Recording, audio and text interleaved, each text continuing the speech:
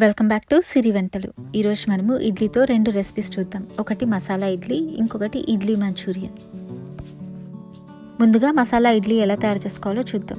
ఇక్కడ పెసరపప్పు ఇడ్లీ పిండి వేసి పెట్టాను. పిండి బాగా పొంగింది. ఈ పిండితో చిన్న చిన్న ఇడ్లీలు స్టీమ్ చేసి పెట్టాను. ఇవి పూర్తిగా చల్లారనివ్వండి.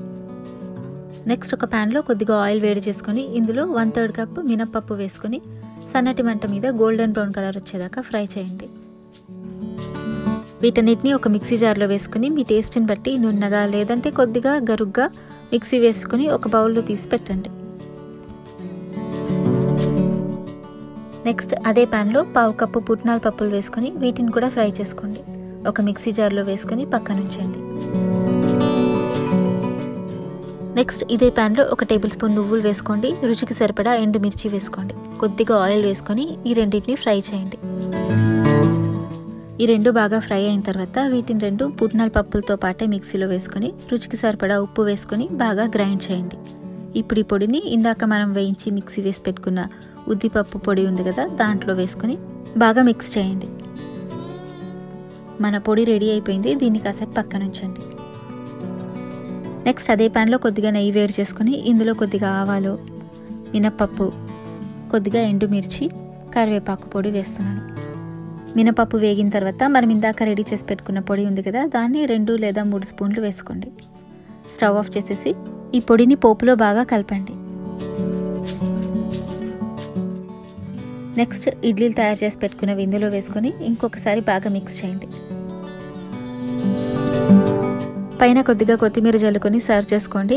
చాలా స్పైసీగా చాలా టేస్టీగా ఉంటుంది. Next recipe idli Manchurian. ముందుగా ఒక ప్యాన్లో కొద్దిగా ఆయిల్ వేడి చేసుకొని సన్నగా తరిగిన వెల్లుల్లిపాయ సన్నగా తరిగిన అల్లం ముక్కలు వేసుకోండి. ఈ రెండింటిని కొద్దిగా ఫ్రై చేయండి. ఇందులోకే కట్ చేసిన ఉల్లిపాయలు క్యాప్సికమ్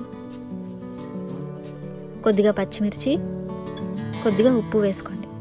వీటన్నిటిని బాగా కలిపి మూత పెట్టి కాసేపు మగ్గించండి. క్యాప్సికమ్ కొద్దిగా మెత్తబడింది.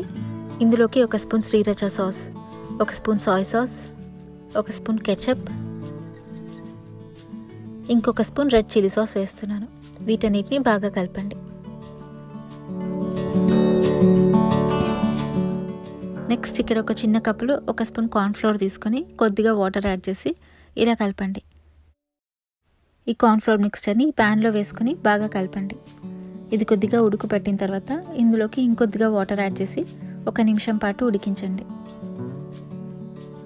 ఇందులోకి ఇడ్లీలు వేసుకుని వీటన్నిటిని బాగా కలపండి.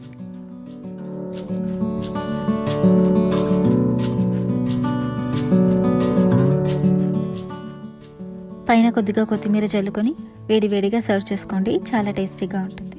ఈ రెసిపీలు మీరు ట్రై చేయండి. మీకు నచ్చితే సిరి వంటలు ఛానల్కి సబ్స్క్రైబ్ చేసుకోండి. Thank you for watching